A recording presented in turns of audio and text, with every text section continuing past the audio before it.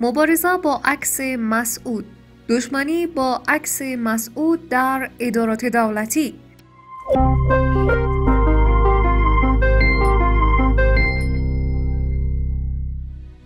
بعد از رسیدن تیم غنی به قدرت یکی از کارهایی که در پیش گرفتن دامن زدن به اختلافات قومی و زبانی است.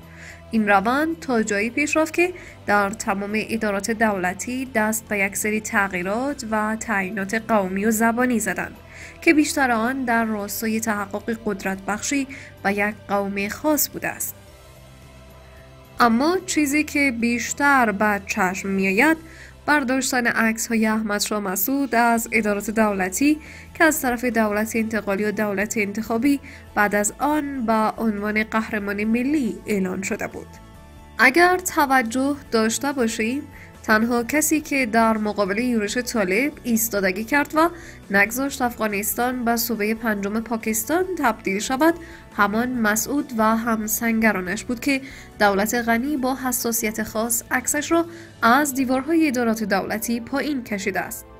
در جامعه چند ملیتی مانند افغانستان اگر نتوانیم قهرمانها با افتخارات همدیگر را تحمل کنیم و تنها به خاطر قومیت و نژاد همه چیز را با ترازوی قوم خود محاسبه کنیم. چگونه می توانیم ادعای رهبر و نمایندگی از تمام اقوام داشته باشیم؟ اگر ساده ببینیم کار بسیار بزرگی نیست. یک عکس از دیوار برداشته شده ولی اگر کمی عمیقتر فکر کنیم آنچه از دیوار پایین میشه غرور و تاریخ یک ملیت همیشه محروم این سرزمین هست. آقایان همیشه عادت کردند که همه این قهرمان ها باید از قومی پشتون باشن و کسی از دیگر اقوام نمی‌تونه قهرمان باشه. تا جایی پیش میرن که حتی به هندی ها خورده می‌گیرن که چرا جنایات احمدشاه عبدالی را به تصویر کشیدن. ولی وقتی حرف از دیگر اقوام به میان میآید هیچ اخلاق و نزاکتی را در نظر نمی‌گیرند.